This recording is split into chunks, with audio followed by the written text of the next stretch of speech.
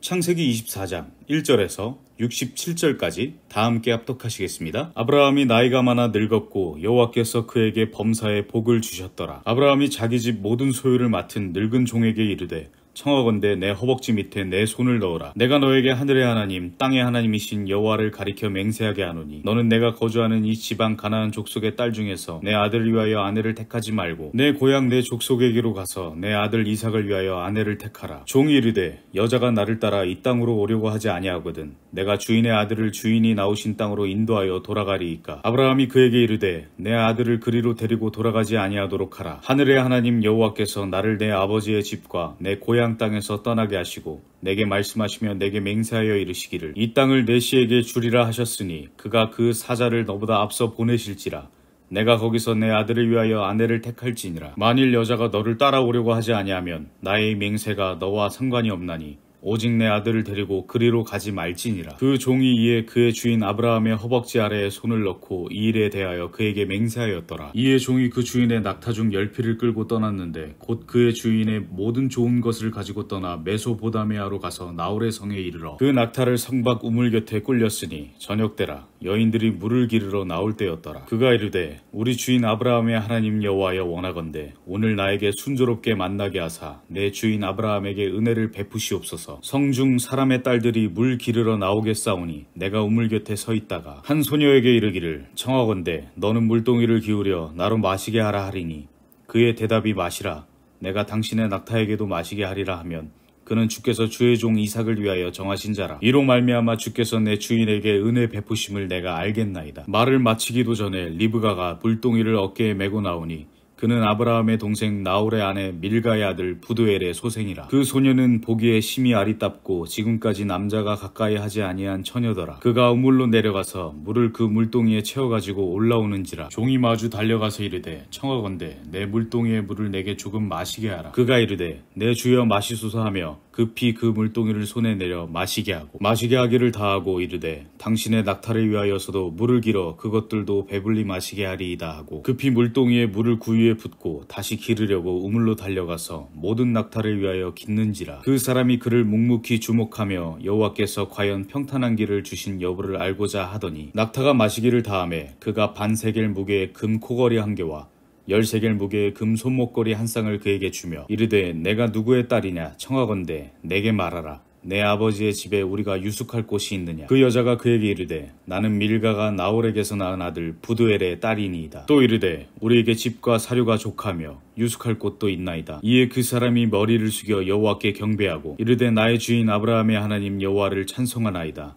나의 주인에게 주의 사랑과 성실을 그치지 아니하셨사오며 여호와께서 길에서 나를 인도하사 내 주인의 동생 집에 이르게 하셨나이다 하니라. 소녀가 달려가서 이 일을 어머니 집에 알렸더니 리브가에게 오라버니가 있어 그의 이름은 라반이라. 그가 우물로 달려가 그 사람에게 이르러 그의 누이의 코걸이와 그 손의 손목걸이를 보고 또 그의 누이 리브가가 그 사람이 자기에게 이같이 말하더라 함을 듣고 그 사람에게로 나아감이라 그때 그가 우물가 낙타 곁에 서 있더라 라반이 이르되 여호와께 복을 받은 자여 들어오소서 어찌 밖에 서 있나이까 내가 방과 낙타의 초소를 준비하였나이다. 그 사람이 그 집으로 들어가매 라반이 낙타의 짐을 부리고 집과 사료를 낙타에게 주고 그 사람의 발과 그의 동행자들의 발 씻을 물을 주고 그 앞에 음식을 베푸니 그 사람이 이르되 내가 내 일을 진술하기 전에는 먹지 아니하겠나이다. 라반이 이르되 말하소서 그가 이르되 나는 아브라함의 종이니이다 여호와께서 나의 주인에게 크게 복을 주시어 창성하게 하시되 소와 양과 은금과 종들과 낙타와 나귀를 그에게 주셨고 나의 주인의 아내 사라가 노년에 나의 주인에게 아들을 낳음에 주인이 그의 모든 소유를 그 아들에게 주었나이다. 나의 주인이 나에게 맹세하게 하여 이르되 너는 내 아들을 위하여 내가 사는 땅 가나안 족속의 딸들 중에서 아내를 택하지 말고 내 아버지의 집 내 족속에게로 가서 내 아들을 위하여 아내를 택하라 하시기로 내가 내 주인에게 여쭈되 혹 여자가 나를 따르지 아니하면 어찌하리이까 한즉 주인이 내게 이르되 내가 섬기는 여호와께서 그의 사자를 너와 함께 보내어 내게 평탄한 길을 주시리니 너는 내 족속 중 내 아버지 집에서 내 아들을 위하여 아내를 택할 것이니라. 내가 내 족속에게 이를 때에는 내가 내 맹세와 상관이 없으리라. 만일 그들이 내게 주지 아니할지라도 내가 내 맹세와 상관이 없으리라 하시기로 내가 오늘 우물에 이르러 말하기를 내 주인 아브라함의 하나님 여호와여 만일 내가 행하는 길에 형통함을 주실진데 내가 이 우물 곁에 서 있다가 젊은 여자가 물을 기르러 오거든 내가 그에게 청하기를 너는 물동 이의 물을 내게 조금 마시게 하라 하여 그의 대답이 당신은 마시라. 내가 또 당신의 낙타를 위하여도 기르리라 하면 그 여자는 여호와께서 내 주인의 아들을 위하여 정하여 주신 자가 되리이다 하며 내가 마음속으로 말하기를 마치기도 전에 리브가가 물동이를 어깨에 메고 나와서 우물로 내려와 깃기로 내가 그에게 이르기를 청하건대 내게 마시게 하라 한즉 그가 급히 물동이를 어깨에서 내리며 이르되 마시라. 내가 당신의 낙타에게도 마시게 하리라 하기로 내가 마심에 그가 또 낙타에게도 마시게 한지라. 내가 그에게 묻기를 내가 네 딸이냐 한즉 이르되 밀가가 나홀에게서 난 부드엘의 딸이라 하기로 내가 코걸이를 그 코에 꿰고 손목걸이를 그 손에 끼우고 내 주인 아브라함의 하나님 여호와께서 나를 바른 길로 인도하사 나의 주인의 동생의 딸을 그의 아들을 위하여 택하게 하셨으므로 내가 머리를 숙여 그에게 경배하고 찬송하였나이다. 이제 당신들이 인자함과 진실함으로 내 주인을 대접하려거든 내게 알게 해주시고 그렇지 아니할지라도 내게 알게 해주셔서 내가 우로든지 좌로든지 행하게 하소서. 라반과 부두엘이 대답하여 이르되 이 일이 여호와께로 말미암았으니 우리는 가부를 말할 수 없노라. 리브가가 당신 앞에 있으니 데리고 가서 여호와의 명령대로 그를 당신의 주인의 아들의 아내가 되게 하라. 아브라함의 종이 그들의 말을 듣고 땅에 엎드려 여호와께 여호와께 절하고 은근 패물과 의복을 꺼내어 리브가에게 주고 그의 오라버니와 어머니에게도 보물을 주니라. 이에 그들 곧 종과 동행자들이 먹고 마시고 유숙하고 아침에 일어나서 그가 이르되 나를 보내어 내 주인에게로 돌아가게 하소서. 리브가의 오라버니와 그의 어머니가 이르되 이 아이로 하여금 며칠 또는 열흘 우리와 함께 머물게 하라. 그 후에 그가 갈 것이니라. 그 사람이 그들에게 이르되 나를 만류하지 마소서. 여호와께서 내게 형통한 길을 주셨으니 나를 보내어 내 주인에게로 돌아가게 하소서. 그들이 이르되 우리가 소녀를 불러 그에게 물으리라 하고 리브가를 불러 그에게 이르되 내가 이 사람과 함께 가려느냐 그가 대답하되 가겠나이다. 그들이 그 누이 리브가와 그의 유모와 아브라함의 종과 그 동행자들을 보내며 리브가에게 축복하여 이르되 우리 누이여 너는 천만인의 어머니가 될지어다.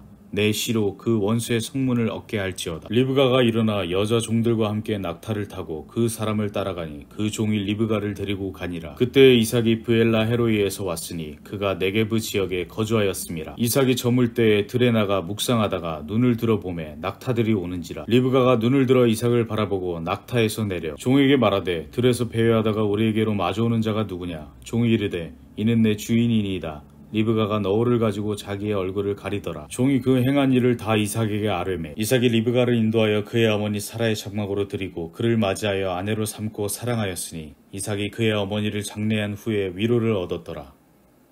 아멘. 아, 기도하시겠습니다. 살아신 하나님, 오늘도 창세기 24장을 묵상하면서 구속사의 이 중심에서 중심에 서 있었던 아브라함이 이제는 퇴장을 하고 새롭게 이삭이 이 언약을 이어가는 모습을 보게 됩니다. 이삭의 아내를 얻기 위한 아브라함의 기도와 또 이삭의 기도와 엘리에셋이라는 이 종의 열정과 기도를 보면서 다시 한번 말씀이 기도에 관한 부분을 강조하기에 우리도 기도의 자리에 들어가는 귀한 분들을 되게 하여 주옵소서 말씀이 가라 그러면 가게 하여 주시고 말씀이 멈추라면 멈추게 하여 주셔서 우리들이 성령의 인도를 세밀히 받는 모든 분들 되게 하여 주옵소서 예수 그리스도 이름으로 감사하며 기도드리옵나이다. 아멘. 자, 오늘은 이삭의 아내 어, 리브가에 대해서 어, 우리가 어, 말씀을 묵상하겠습니다. 창세기 12장부터 50장까지는 4명의 족장에 대해서 성경은 어, 계속적으로 강조합니다. 아브람, 이삭, 야곱, 요셉. 아브람의 인생이 출애굽기 11장 마지막 부분에서 시작해서 22장까지입니다. 그러면 아브람의 인생에서 가장 중요한 것은 뭐냐면 창세기 3장 15절의 주인공, 즉 여자의 후손, 즉 그리스도를 하나님께서 보내시는데 아브라함을 선택하시고 아브라함의 후손 중에서 그리스도를 보내시겠다.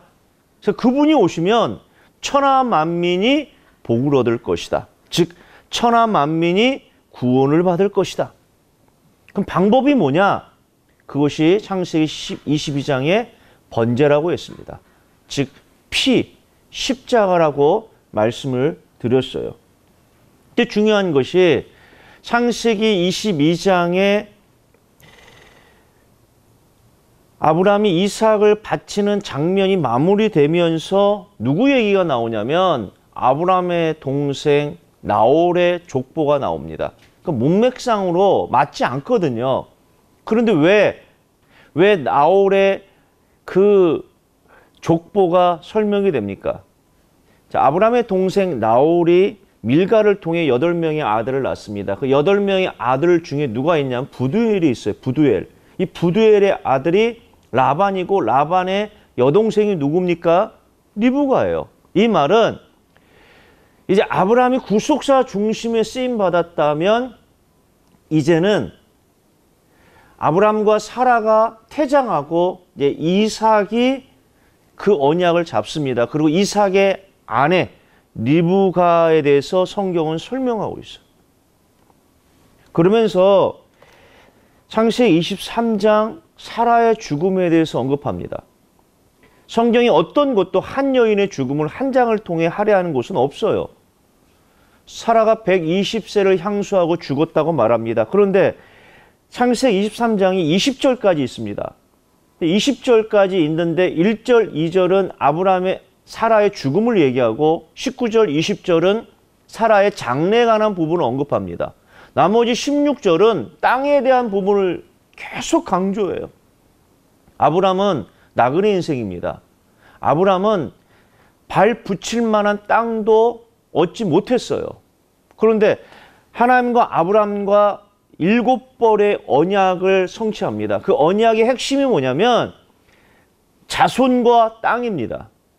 그러면 자손은 하나님께서 이삭을 주셨어요.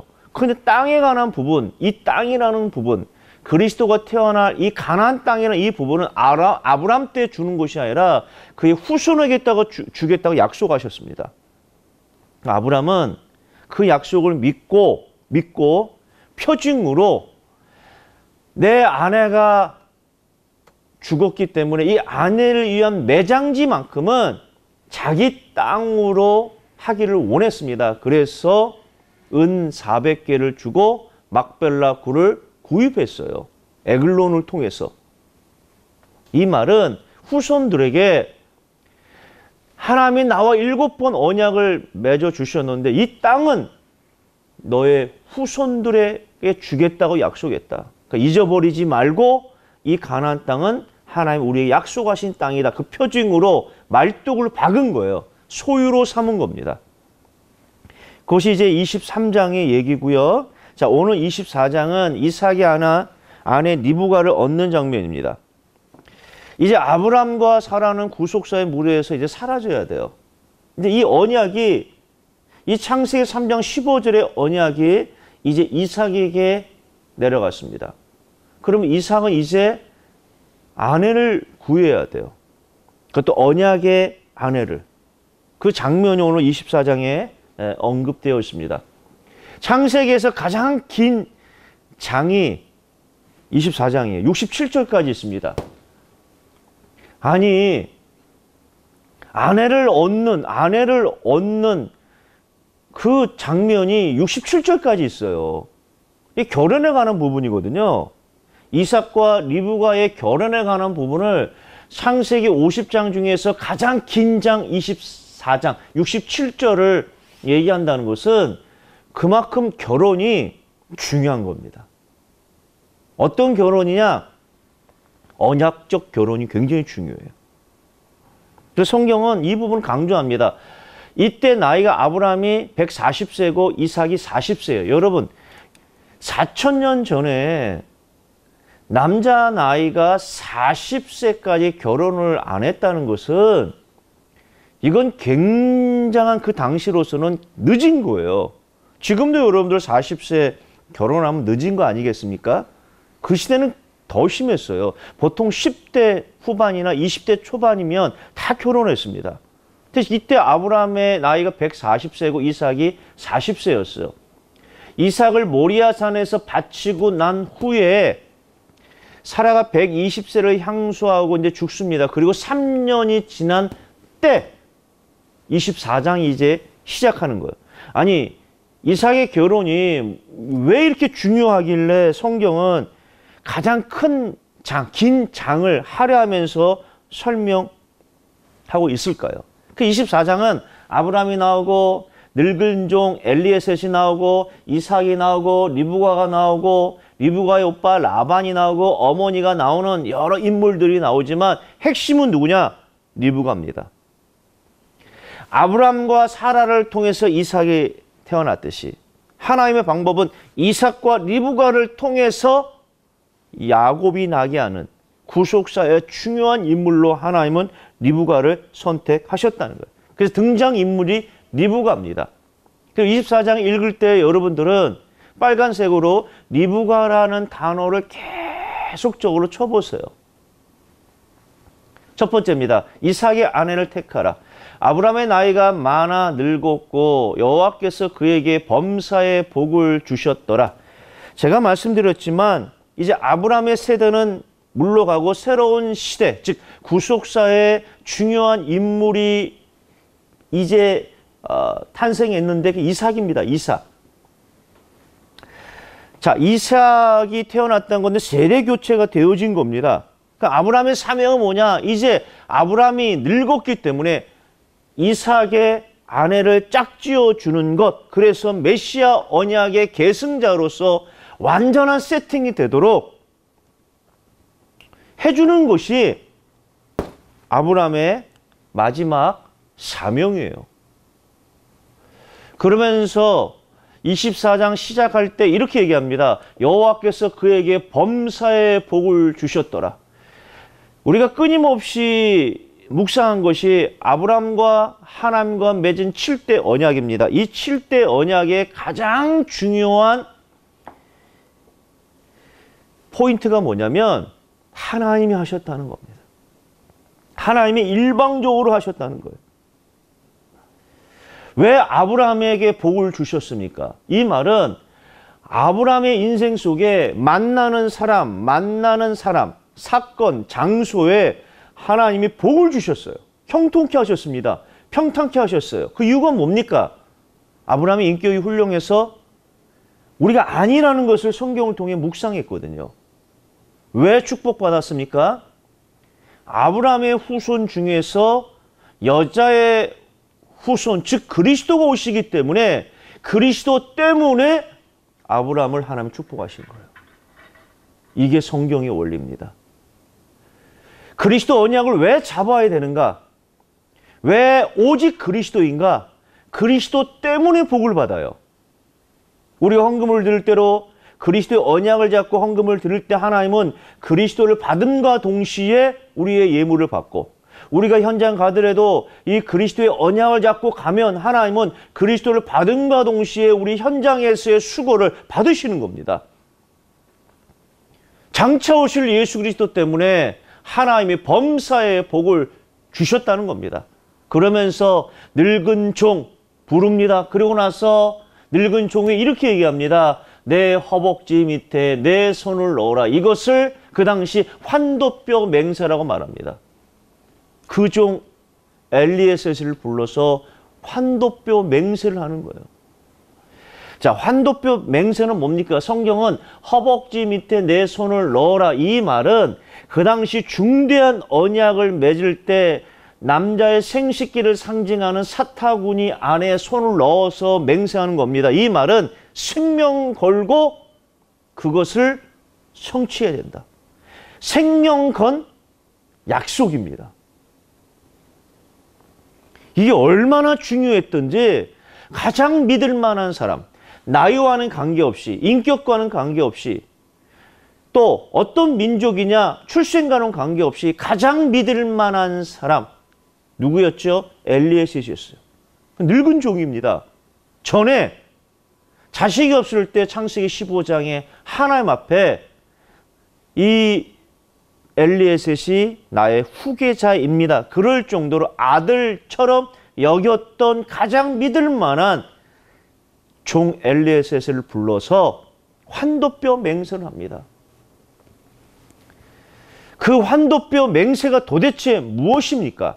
그게 3절 4절이에요. 내가 너에게 하늘의 하나님, 땅의 하나님이신 여호와를 가리켜 맹세하게 하노니 너는 내가 거주하는 이 지방, 이 지방 지금 어딥니까? 헤브론에 거주하는 이 지방 가나안 땅에서 딸 중에서 내 아들을 위하여 아내를 택하지 말고 내 고향, 내 족속에게로 가서 내 아들 이삭을 위하여 아내를 택하라.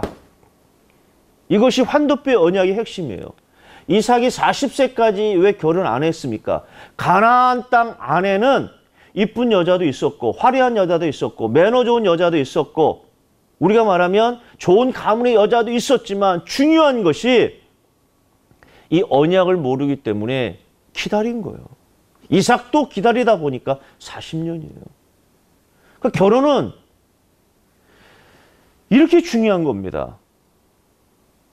하나님이 알아서 해결해 주겠지. 그게 아니라 그 정도로 이삭이 40년 동안 기도한 것이고 아브라함이 기도하다가 이제 결단한 거예요. 여기 가나안 땅에는 안 된다. 왜? 우상 숭배를 너무 하는 거예요. 가나안 여인들은 이 함족입니다. 그리고 이 가나안 땅은 농경사이기 때문에 우상이 바알과 아스타롯이에요. 바알과 아스타롯을 섬기는 곳이 바로 이곳이고 몰렉이라는 신을 섬기는 곳도 있습니다. 몰렉은 자기 자녀를 불러 태워 드리는 그런 제사법이 있는 종교예요.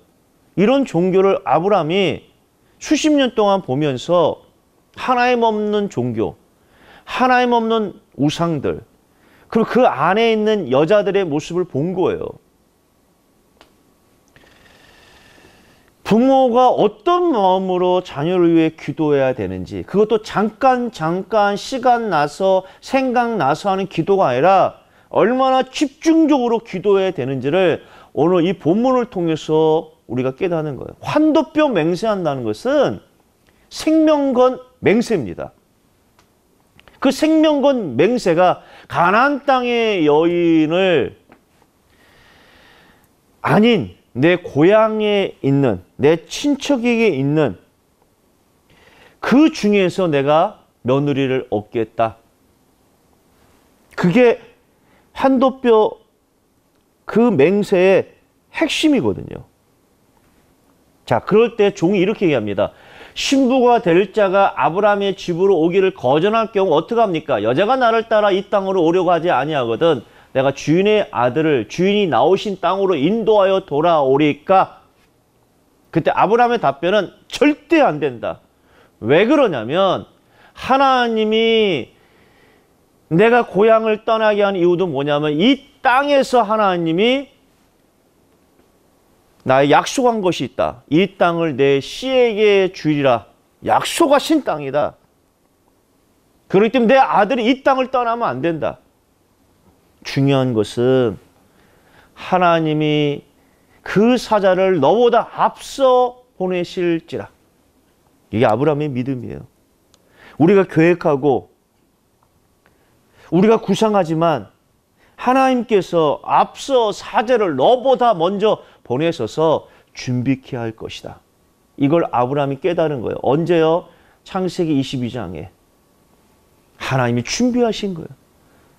내 아들을 죽이려고 했는데 그곳에 양을 준비하신 하나님. 그래서 그곳 이름을 여호와 이래 즉 여호와께서 친히 준비하시리라. 이것이 아브라함의 믿음입니다.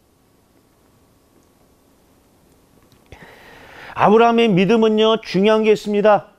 하나님이 약속하신 씨를 주셨다. 그것이 이삭입니다. 땅도 우리 후손에게 주실 것이다 약속했다. 그렇다면 배필도 내 아들의 배필도 준비해 주실 것이다. 이게 아브라함의 믿음이에요. 만약에 너가 가서 준비하지 너가 가서 없다고 하면 하나님이 예비하신 짝이 아니다. 그렇게 결론을 내립니다. 8절에 만일 여자가 너를 따라오려고 하지 아니하면 나의 이 맹세가 너와 상관이 없나니 오직 내 아들을 데리고 그리로 가지 말지니라. 이렇게 얘기합니다. 아브라함은 어떤 위, 위, 어떤 이유에서 오직 내 아들을 가나안 땅을 떠나서 그곳으로 가지 말라고 얘기합니까? 지금까지 경험한 게 있어요. 언약의 땅을 떠나면 안 된다는 겁니다. 본인이 경험했잖아요. 창세기 12장에 보니까 가나안 땅을 떠나 애굽으로 내려갔습니다. 하나님이 일방적으로 개입하신 거예요. 왜? 하나님의 방법은 아브람과 사라를 통해서 후손을 주신다고 했는데 만약에 아브라함이 아닌 바로와 그 안에 사라가 동침하면 이 언약의 계보가 깨지는 거예요. 하나님이 개입하신 거예요. 그걸 아브라함이 본 겁니다. 가나안 땅을 떠나면 안 된다는 사실을. 또 하나는 뭡니까? 절대로 타협하면 안 된다.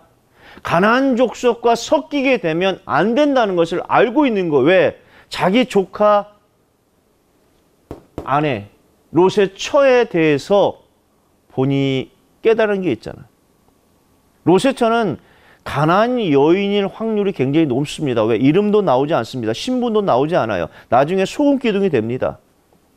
그 증거로 두 딸이 가난 남자와 어떻게 합니까? 가난 남자와 정혼했거든요. 완전히 망한 겁니다. 완전히 실패한 거예요. 그걸 알았기 때문에 아브라함은 단호하게 이 부분을 강조합니다. 자, 아브라함의 고향이 어디냐? 아브라함의 제1의 고향은 갈대아 우르입니다. 그리고 제2의 고향이 하란이에요. 다른 말하면 아, 바단 하람이라고도 합니다. 이 하란이에요. 이 하란 지역에 누가 사냐면 원래 아브라함의 남동생이 누굽니까? 나홀이 이곳에 살다가 추후에 이곳으로 이전했어요. 이게 메소포타미아 지역의 중심으로 형성된 문명의 도시인데 이곳에 친척들이 살고 있는 거예요. 이곳까지 가라는 겁니다. 이제 엘리에셋이 주인의 분부를 받도록 아브람과 환도뼈 언약을 맺고 이제 어떻게 합니까? 출발합니다. 이의 종이 그 주인의 낙타 중 열피를 끌고 떠났는데 곧 그의 주인의 모든 좋은 것을 가지고 떠나 메소포타미아에 가서 나홀의 성에 이르렀다. 자, 나홀의 성입니다. 이곳까지 거리가 거의 840km예요. 굉장히 먼 지역입니다. 이것도 성경은 늙은 종, 늙은 종이라는 것은 이 840km를 걷기가 너무 힘든 거예요. 왜 그럼에도 불구하고 늙은 종을 보내겠습니까? 아, 아브라함은 거부입니다. 수많은 종들이 있어요. 젊은 종들, 체격이 좋은 종들.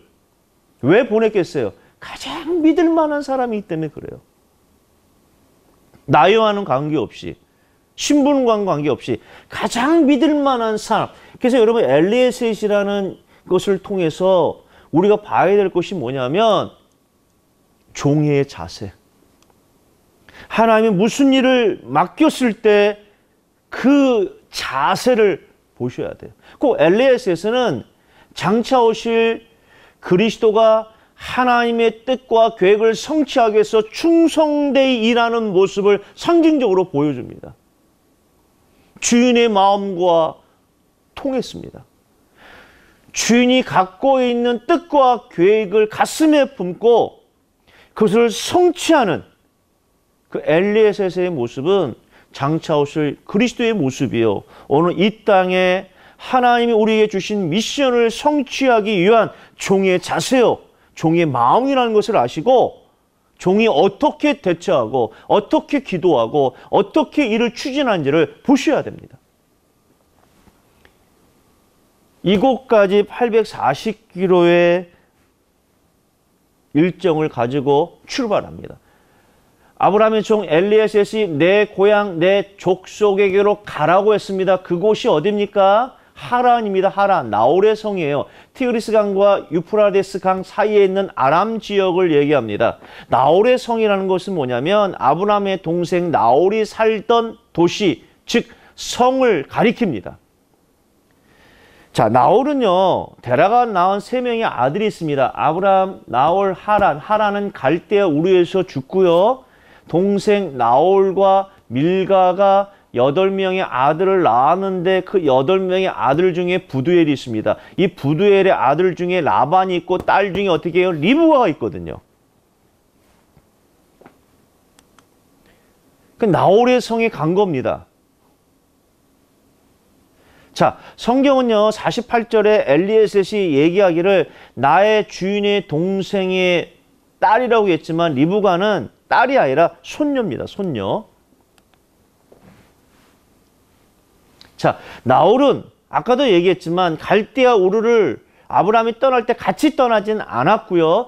추후에 떠났다고 그렇게 추정합니다. 그래서 이 나홀의 가문이 지금 그 하란 지역에 모여 살았던 거예요. 정은 낙타 열피를 끌고 떠났다는 것은 거기에 아브라함의 가장 좋은 것을 가지고 이제 떠났습니다. 자, 지금 엘리에셋이 출발했던 곳이 부엘라헤로인데 부엘라헤로이가 여러분들 창세기 16장에 보니까 하갈이 하갈이 도망칩니다. 그곳이 어디냐면 그 샘이 있는 곳인데 그곳을 부엘라헤로이라고 자기가 명칭했거든요. 이제 거기에 지금 이 종이 출발한 것 같아요. 거기서부터 저 하란까지는 840km가 넘는 곳입니다. 뭐 하루에 50km를 걸어갔을 라고 가정하면 17일에서 20일 정도 걸리는 거리입니다. 굉장히 속도를 빨리 해서 걸은 거예요. 왜냐하면 주인이 주신 미션이 있잖아요. 주인이 주신 이 미션을 가지고 지금 출발한 거예요. 자, 그런데 도착을 했습니다. 근처에 도착을 했어요. 막막합니다. 아니, 이 나홀의 성 다른 말하면 하란 지역에 도시고 문명의 도시입니다. 얼마나 많은 사람들이 살았겠습니까? 거기서 아브라함의 친척을 찾는 것이 쉽냐고요.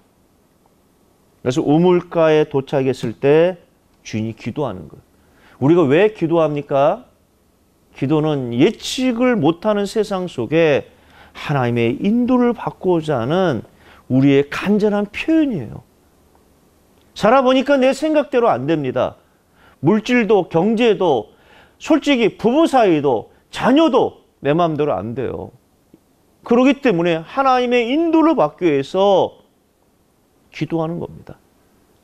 엘리에셋이 도착하자마자 기도합니다. 어떻게 기도합니까? 우리 주인 아브라함의 하나님 여호와여 원하건대 오늘 나에게 순조롭게 만나게 하사 내 주인 아브라함에게 은혜를 베푸시옵소서. 기도 내용도 전혀 자기와는 관계 없어요.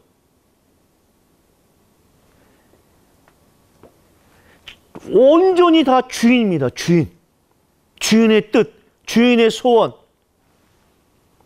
자기와는 아무 관계 없어요. 자기의 건강, 자기가 피곤치 않도록 자기를 위해서 기도하는 게 전혀 없어요. 여러분 엘리에셋이라는 인물을 우리가 묵상하면서 철저히 어떻게 합니까? 자기를 위한 기도, 내 기도 전혀 없어요. 오로지 주인입니다. 주인, 주인.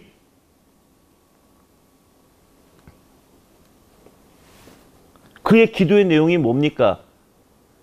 주인을 위하여 은혜를 베풀어 달라고 기도합니다. 자, 이렇게 얘기합니다. 첫 번째가 원하건대 오늘 나에게 순조롭게 만나게 하사. 이렇게 기도해요. 이 순조롭다. 이 말은 카라라는 단어인데 이 말은 뭐죠? 마주치다. 우연히 마주치다. 이렇게 기도해요. 그러면서 뭐라고 합니까? 내 주인에게 은혜를 베푸시옵소서. 주께서 내 주인에게 은혜 베푸심을 내가 알겠나이다. 시종일관 하나님의 은혜예요. 그 은혜도 자기에게 은혜를 베풀어 달라는 것이 아니라 내 주인에게 은혜를 베풀어 주옵소서. 이게 종의 자세입니다. 그 예수 그리스도의 모습을 볼 수 있어요. 이게 종의 자세예요. 왜 그랬습니까? 엘리에셋이 수년 동안 아브라함을 통해서 본 게 있습니다.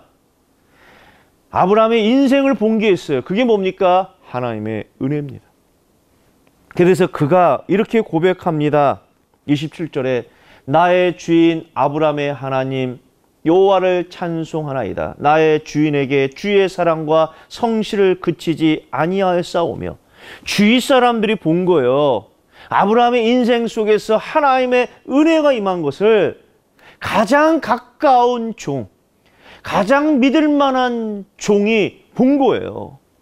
우리가 이걸 통해서 정말로 중요한 것이 가까운 사람에게 보여줘야 돼요. 보디발이 요셉을 보니까 뭐가 보입니까? 여호와께서 요셉과 함께 하심을 보며 이렇게 얘기거든. 불신자가 보는 거예요. 내가 내 자랑하는 것은 교만입니다. 칭찬도 남이 해주는 거예요. 주위 사람들에게 아브라함이 하나님의 은혜를 사모하고 하나님의 은혜가 아브라함 인생 속에 임했다는 것을 가장 가까운 사람이 본 거예요. 왜냐하면 가장 가까운 사람에게 영적 영향력을 입히기가 가장 어렵습니다. 여러분 원수가 어디 있습니까? 저 원수가 아프리카 사람입니까? 저 케냐 사람입니까? 원수는 주위에 있는 거예요. 원수는 나와 친했던지 나와 관계던 사람 그게 원수입니다. 주위에 가장 가까운 사람에게 은혜를 끼쳐야 되고 가장 가까운 사람에게 하나님이 함께 하시는 임마누의 축복을 보여줘야 되는데 우리 주위에 왼수들이 너무 많아요. 스스로 왼수라고 하는 것은 그만큼 어떻게 합니까? 우리의 말, 우리의 행동, 우리의 가치관, 우리의 세계관, 우리의 물질관이 복음적이지 않다는 것이 보여주는 거거든요. 두 번째 기도는 뭡니까? 자, 이삭의 아내임을 알게 하는 표정을 구하는 기도입니다. 이제 우물가에 앉았습니다. 하나님께 기도하기를 어떻게 기도합니까? 하나님, 물길로 나오는 소녀들이 많을 텐데 제가 물동이를 기울여 마시게 하라. 이렇게 얘기했을 때 이 소년 중에 누구래도 물을 줘서 마시게 하고 여기서 끝나는 것이 아니라 당신의 낙타에게도 마시게 하겠습니다. 그 여자가 이삭의 아내일 겁니다. 이렇게 보여주옵소서 기도하는 것. 근데 중요한 게 뭡니까? 기도가 마치기 전에 자 보세요. 말을 마치기도 전에 리브가가 물동이를 어깨에 메고 나오니라 말을 마치기도 전에 이 말을 마치기 전에는 기도 기도가 채 끝나기도 전에 기도가 채 끝나기도 전에 한 여인이 물동이를 어깨에 베고 나오는데 종이 리브가의 모습을 보니까 그 소녀는 보기에 심히 아름답고 지금까지 남자가 가까이 하지 아니한 처녀라. 이 말은 결혼하지 않았다는 거예요. 왜냐하면 고대 근동에서는 여자의 옷차림을 통해서 이 머리 헤어 스타일을 통해서 저 여자가 결혼했구나 결혼하지 않았구나를 딱 볼 수 있거든요. 그 외모가 아름답고 처녀라는 것은 결혼하지 않았구나 딱 보이는 거예요. 근데 여기서 끝나는 것이 아니라 이 리브가가 뭐라고 얘기합니까? 자, 종이 요청합니다. 나로 물 좀, 나에게 물 좀 달라 얘기하니까는 어떻게 합니까? 자, 종이 요청하자 물 항아리에 물을 급히 내려 마시게 합니다. 리브가는 늙은 나그네에게 나그네가 물을 요청할 때 뭐랍니까? 내 주여 마시소서. 이렇게 할 수 있어요. 친절한 여자들, 상냥한 여자들. 예의 바른 여자들은 늙은 종이 요청할 때 물을 줄 수 있습니다. 근데 중요한 게 뭡니까? 세 번째 요청이에요. 거기서 끝나면 좋은데 뭐라고 합니까? 요청하지도 않았는데 낙타 열 마리에게도 배불리 마시게 합니다. 당신의 낙타를 위하여서도 물을 길어 그것 들도 배불리 마시게 하리이다. 배불리 마신다. 낙타 열머리가 배불리 마신다. 여러분 낙타는요 물을 먹지 않고도 며칠을 버틸 수 있지만 한 번 물을 먹을 때는 얼마나 먹냐. 그래서 낙타를 사막의 배라고 얘기할 정도로 엄청나게 많은 물을 먹습니다. 많게는 50리터, 많게는 120리터. 그럼 10마리의 낙타가 최소 15일에서 20일 동안 마음 놓고 물을 먹지 못했다고 하면 얼마나 많은 양의 물을 먹겠냐고요. 그 열마리에게 낙타를 열마리의 낙타를 물을 줬다는 것은 이건 수십 통의 물을 막 길러서 줘야 돼요. 근데 중요한 게 보세요. 늙은 종에 물을 준 후에 급히 물동이의 물을 구유에 붓고 다시 기르려고 우물로 걸어가지 않고 뛰어간다는 거, 달려간다는 건 그만큼 어떻게 해요? 이 낙타가 굉장한 갈증을 여기고 있다는 거예요. 당연하죠. 물을 한번 줬는데 이 물이 물을 줬을 때 낙타가 어떻게 해요? 정신이 혼미할 정도로 물을 막 흡수하며 먹으니까 소녀가 어떻게 해요? 물동이에 가볍습니까? 최소 10kg 이상 될 텐데. 그걸 들고 막 달려간 거예요. 달려갔다는 건 뭘 얘기합니까? 자기 낙타처럼. 그 당시 낙타는 가문의 굉장히 보물입니다. 이 낙타가 여러분들 며칠 동안 물을 못 먹었다고 생각해 보십시오. 내 소유인데. 그 물을 여러분 대강대강 줬겠냐고요. 얼마나 급히 서두르면 좋겠습니까? 근데 남의 낙타인데 그것도 열 마리인데 이 리브가가 달려가서 물을 줬다는 것은요. 자기 낙타처럼 한 거예요. 이것을 본 겁니다. 종이 봅니다. 그 사람 늙은 종이 그를 묵묵히 주목하여 여호와께서 과연 평탄한 길을 주신 여부를 알고자 하더라. 알았다는 거예요. 내 기도에 응답하셨다는 겁니다. 그래서 너무 친절에 감사해서 자 낙타가 마시기를 다함에 열 마리의 낙타가 배불리 물을 먹을렀다. 이거는 엄청난 시간이 흘러야 돼요. 그걸 다 본 후에 그가 반세겔 무게의 금 코걸이 한 개와 열세겔 무게의 금 손목걸이 한 쌍을 그에게 주었다는 것은 금, 금 코골이 그 당시 그 고대 근동의 여자의 여자의 그, 그 외모를 꾸미는 것 중 하나는 이 코에 우리가 말하면 귀골이 코골이를 하거든요. 그곳이 남아 있는 데가 저 인도나 벵갈 민족, 방글라데시에 가면 여자들이 다 코에 코골이 합니다. 그, 그런 배경이 있는 거예요. 제가 그 방글라데시 갔을 때 여자들이 여기 코골이를 하더라고. 제가 그때 92년도에 방글라데시를 갔으니까 그 당시만 해도 그런 이렇게 문명이 교류가 없기 때문에 지금처럼 스마트폰이 없었기 때문에 TV 아니고서는 잘 그런 걸 못 보거든요. 직접 가서 보니까 다 여자들이 이 코에 코골이를 했어요. 그래서 내가 물어봤습니다. 왜 그러냐 했더니 그들은 모슬렘이기 때문에 구약도 믿거든요. 구약을 믿습니다. 그 리브가가 리브가가 코골이 했기 때문에 그 전통에 따라서 다 코골이 한다더라. 금 손목걸이 한 쌍, 굉장한 무게의 고가지요.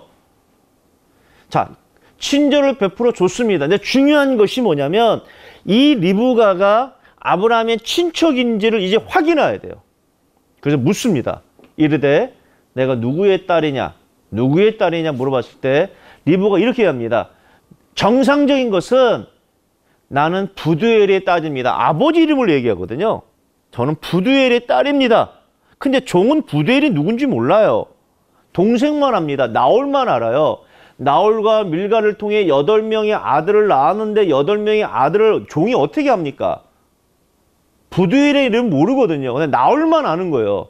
근데 정상적으로 물어보면 부두엘의 딸입니다. 이렇게 얘기해야 돼요. 근데 리브가 이렇게 얘기합니다. 우리 할아버지 나올, 나올이란 표현도 안 하고 할아버지 아내, 나는 밀가가 나올에게서 나온 아들 부두의 딸입니다. 왜냐하면 나올과 밀가를 통해 여덟 명의 아들이 낳고 이 나올이 첩을 통해 네 명의 아들을 낳거든요. 그 자기는 나올과 밀가에서 얻은 여덟 명의 아들 중에 우리 아버지가 부두엘입니다. 아 이렇게 상세하게 설마하는 사람이 어디 있어요? 어디 있습니까? 누가 물어보면 아버님 조남이 어떻게 되느냐 그래서 김자 못자 못자 이렇게 얘기하지 않습니까? 할아버지 조남을 얘기하는 사람이 누가 있겠습니까? 이것 또한 하나님이 준비하신 거예요. 여호와 이래 그 말을 듣는 순간 종이 어떻게 합니까? 이에 그 사람이 머리를 숙여 여호와께 경배하고 이 말은 하나님이 준비하셨다는 겁니다. 자, 그러면서 27절에 하나님을 찬송하면서 나의 주인 아브라함의 하나님 여호와를 찬송하라이다. 나의 주인에게 주의 사랑과 성실을 그치지 아니하여 싸우며 여호와께서 길에서 나를 인도하사 내 주인의 동생 집에 이르게 하셨나이다. 여호와께서 길에서 나를 인도하셨다. 여기서 길에서 나를 인도했다는 것은 이 땅, 이 세상에서 하나님이 나를 인도하셨다는 거예요. 이게 성령의 인도입니다. 성령의 인도를 받기 위해서 늙은 종 엘리에셋이 한 게 뭡니까? 현장에서 기도한 거예요. 기도는 인도의 출발점입니다. 기도는 응답의 출발점입니다. 하나님의 자녀라도 자녀를 향해서 너희는 내 이름으로 기도해라. 내가 시행하겠다.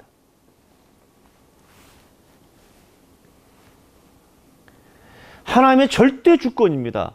그럼 리브가가 어떻게 해요? 그 엘리에셋의 고백을 들은 거예요. 내 주인의 동생 집. 이 말을 리브가가 들은 거예요. 즉 하라 큰할아버지야 큰할아버지. 이 말을 듣자마자 급히 달려가서 어머니와 오빠에게 얘기합니다. 소녀가 달려가서 이 일을 어머니 집에 알렸더니 리브가에게 오라버니가 있어 그의 이름은 라반이라 그가 우물을 우물로 달려가 그 사람이 이르되 나의 누이의 코골이와 그 손의 손목걸이를 보고 또 그의 누이 리브가가 그 사람이 자기에게 이같이 말하더라 함을 듣고 그 사람에게로 다, 나아감이라 그때 그가 우물가 낙타 곁에 서 있더라. 그 사람들이 오자마자 종이 또 이렇게 얘기합니다. 나는 아브라함의 종이다. 자기 신분을 얘기해요. 이것이 우리 사역자들 또 저와 또 여러분들 마음속에 가져야 될 중심 사상이에요. 우리는 하나님의 종이다. 왜 교회에서 다툼이 있습니까? 왜 분쟁이 있습니까? 종의 자세가 아닙니다. 빚진 자의 자세가 아닙니다. 우리가 아직 죄인 되었을 때 일방적으로 그리스도를 보내셔서 그를 죽이심으로 우리를 구원하여 주신 것. 우리가 한 게 아무것도 없는데 우리의 실적도 없고 선행도 없고 인격도 아무것도 안 되는데 죄인들 쓸 때 우리를 부르셔서 하나님의 자녀로 삼아 주신 것. 그래서 우리는 빚진 자의 자세. 빚을 받으러 오는 그런 빚쟁이 모습이 아니라 빚진 자의 자세. 종은 그런 중심을 가지고 자기의 신분을 얘기합니다. 그러면서 무엇이라고 얘기합니까? 우리 주인과 함께 하신 것. 지금까지 내가 보면서 우리 주인과 함께 하신 것. 그것을 그가 자 고백합니다. 어떤 고백입니까? 여호와께서 나의 주인에게 크게 복을 주시어 창성하게 하시되 소와 양과 은금과 종들과 낙타와 나귀를 그에게 주셨고 나의 주인의 안에 살아가 노년에 나의 주인에게 아들을 낳음에 주인이 그의 모든 소유를 그 아들에게 주었나이다. 엘레셋은 끊임없이 주인, 주인, 주인, 주인 얘기합니다. 자기의 존재 자체가 없어요. 자기라는 존재가 전혀 부각되지 않습니다. 오로지 주인이에요. 이것은 장사하실 그리스도의 모습이에요. 철저히 보낸 자를 위해서 사는 인생. 그것이 제자입니다. 그것이 사도예요. 여러분, 사도란 말은 보내심을 받은 자, 이런 뜻입니다. 하나님이 이 땅에 그리스도를 보내셨어요. 그러니까 예수 그리스도 어떤 면 영적 사도입니다. 그리스도가 이 땅에서 사도를 보냈습니다. 보낸 거예요. 그러면 그들은 보내신 자의 뜻대로 삽니다. 그 열두 제자 아닙니까? 마지막 사도 바울도 어떻게 성령이 선택하시고 성령이 보내셨거든. 너는 너는 바울이 이렇게 얘기합니다. 사도행 9장 15절. 너는 이스라엘과 이방인과 임금들에게 이 복음을 증거할 나의 택한 그릇이라 영적 사도다. 자기라는 존재가 없어요. 보내신 자의 뜻을 위해서 삽니다. 바로 엘리에셋이 이렇게 고백하는 거예요. 그러면서 지금까지 과정들을 그 가문들에게 설명합니다. 설명하는 거예요. 그것이 37절에서 41절입니다. 지금까지 나의 나의 주인 아브람과 맺은 언약, 그 매, 맺은 언약을 가슴에 품고 840km를 걸어서 이 도시에 와서 내가 우물가에서 하나님께 기도한 내용들. 하나님, 나를 순조롭게 만나게 하여 주옵소서. 그 기도의 내용이 뭡니까? 소녀들이 나올 텐데 이 소녀들에게 내가 물을 요청할 겁니다. 물을 달라 했을 때 물을 준과 동시에 그 소녀 입에서 당신의 낙타도 내가 먹이겠나이다. 그런 여자가 하나님이 예비해 두신 여자일 겁니다. 그 얘기를 37절에서 41절에 그들에게 얘기하는 거예요.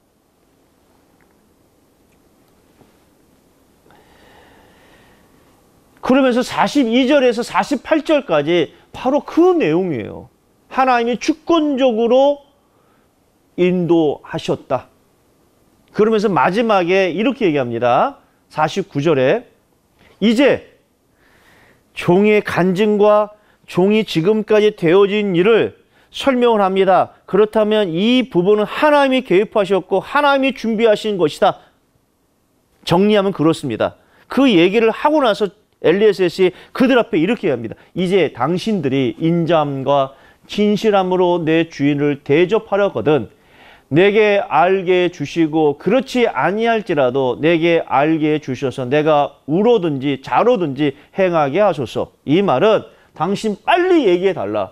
지금까지 하나님이 예비해 주셨다. 하나님이 지금까지 인도해 주셨다. 그 말을 듣고 내가 결정할 수 있도록 빨리 해달라.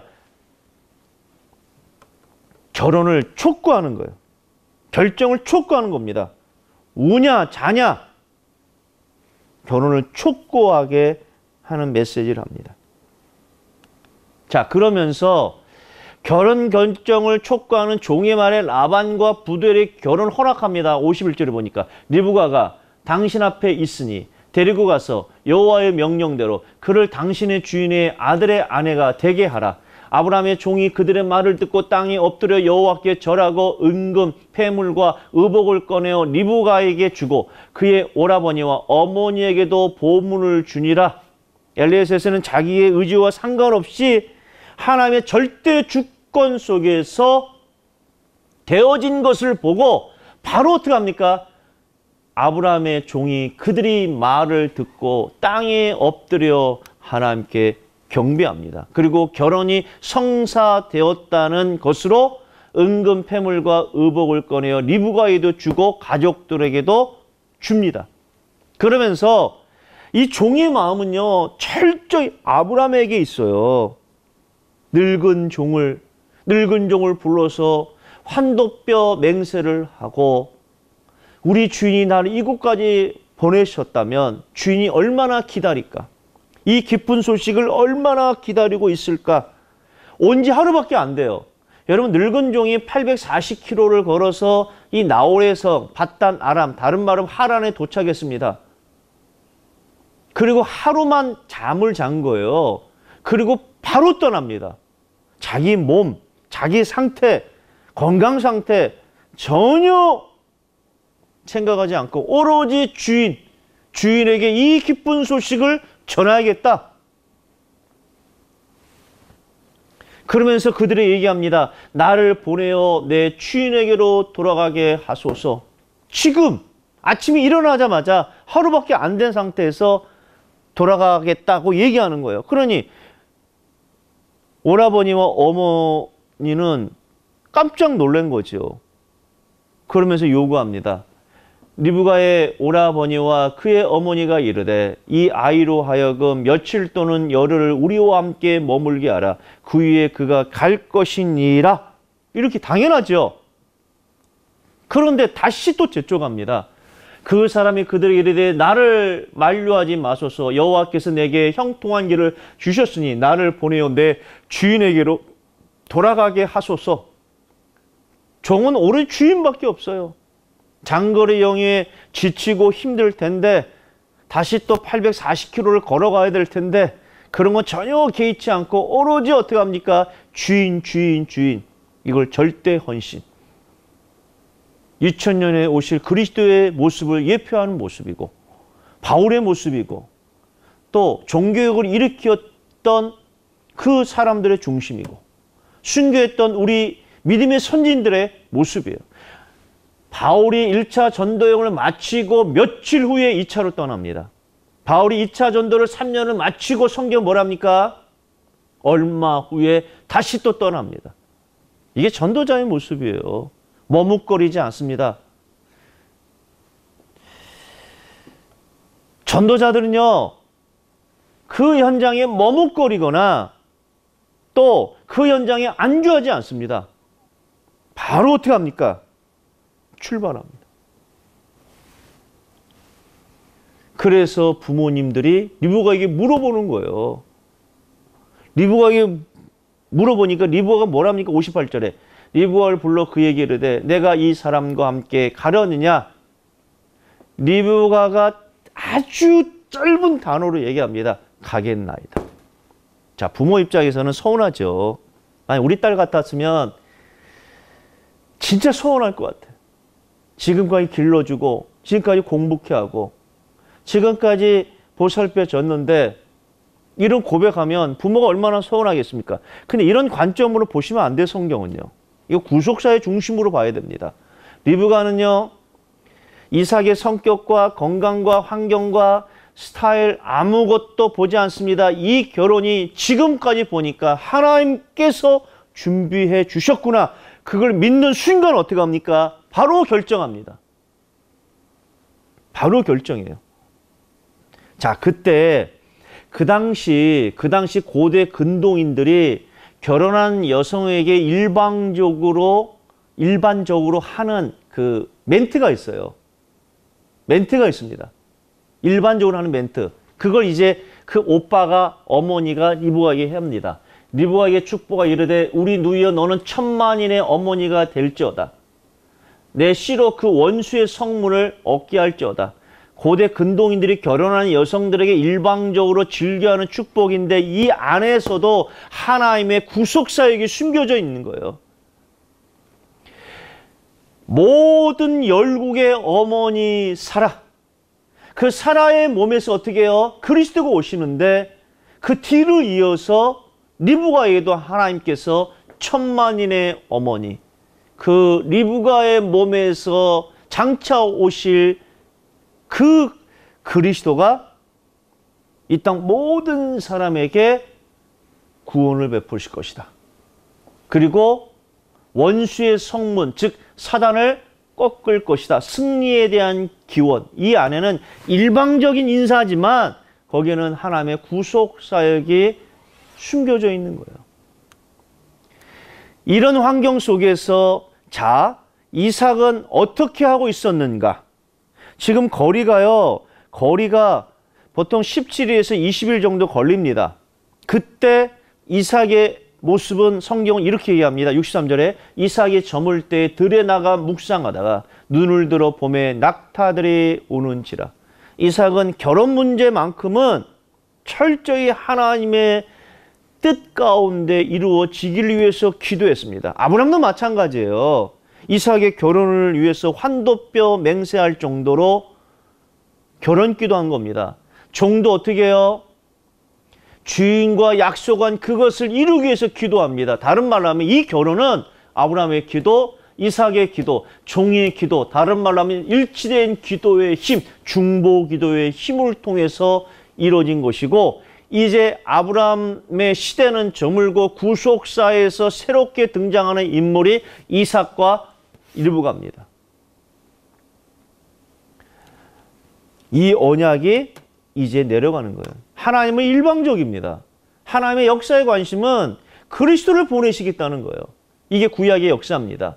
그리스도를 보내야만 인간의 죄가 해결되고 죄가 해결돼야 하나님과 하나 되고 그러므로 말미암아 이 사단의 종에서 해방되어 하나님의 자녀 되는 겁니다. 이 일을 위해서 하나님은 그리스도를 보내시는데 누구를 선택했냐? 아브라함과 사라를 선택하시고 그들이 구속사에 퇴장하고 뒤를 위해서 이삭과 리브가를 선택하셔서 리브가의 리브가를 준비하시는 하나님의 이 구속 사역이 오늘 24장에 언급된 겁니다. 그 여러분들 우리가 지금까지 보면서 성경을 보면서 여러분들이 어느 정도는 창세기가 이제 이해될 거예요. 하나님의 방법이 바로 그런 거구나. 다시 한번 이 언약을 붙잡고 사는 여러분 되기를 예수 그리스도의 이름으로 축복합니다. 기도하겠습니다. 하나님 감사합니다.